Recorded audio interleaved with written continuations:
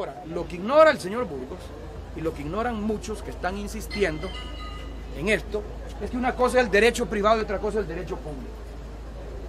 El préstamo se adquiere en el momento en que yo no era servidor público, era candidato a la presidencia de la República. Y la condonación se da cuando todavía sigo siendo ya presidente electo, pero no servidor público. No había asumido como presidente de la República. Yo me convierto presidente de la República a partir del 1 de junio. Mientras tanto, no soy servidor público. Los fondos no son públicos, son fondos privados. Al único que le tengo que dar cuenta al señor Nicolás Alume y punto. O vayan a preguntarle a Quijano también quién le da plata para la campaña. ¿Quién le da plata para la campaña? ¿Por qué no investigan eso ustedes? ¿Por qué solo aseguran de que el FMLN le da Alba Petróleo? ¿Y Arena quién le da plata? ¿Quiénes son los empresarios que le dan plata? ¿Quiénes son los grupos empresariales que dan plata a Arena? Porque alguien tiene que darles. Si no son empresarios los que le dan plata a Arena y al señor Quijano para su campaña, esa campaña está siendo financiada o con fondos de las alcaldías que tienen, sobre todo San Salvador, o con fondos que tienen un origen ilícito. Ahora, pregúntense, pregúntense quién le da la plata a Norman Quijano. ¿En concepto de qué se la va a dar? ¿Donativo, préstamo o cómo? Y si se la donan, ¿qué compromiso está haciendo con ellos? ¿Qué les va a dar después cuando sea presidente de la República si llega a ganar?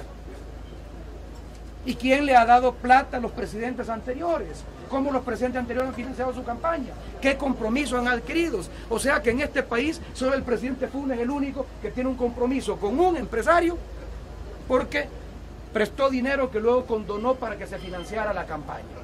Y los demás presidentes que ha tenido el país y los que ahora aspiran a ser presidente, ¿tienen o no tienen compromiso con sus financistas? Solo el presidente Funes los tiene.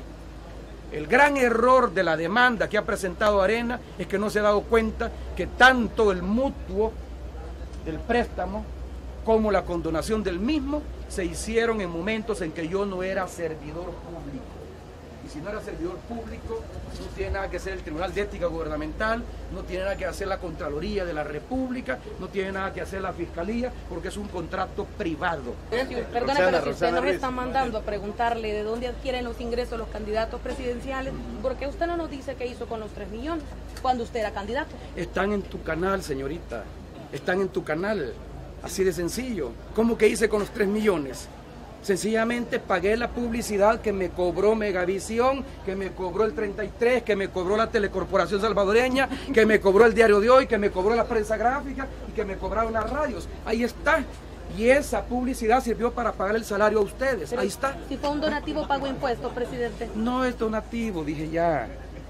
No es donativo. ¿Por qué yo, dice el diario de hoy, aprovechando que está Rafaelito aquí, que yo he dado diferentes versiones? No, es que, es que tuvimos que encontrar la forma de cómo hacer llegar ese dinero, justamente para que no implicara pago de impuestos y no implicara ningún compromiso de carácter personal. Así fue. Si quien, quien, quien asumió solidariamente la deuda fue el FMLN y los partidos no pagan impuestos.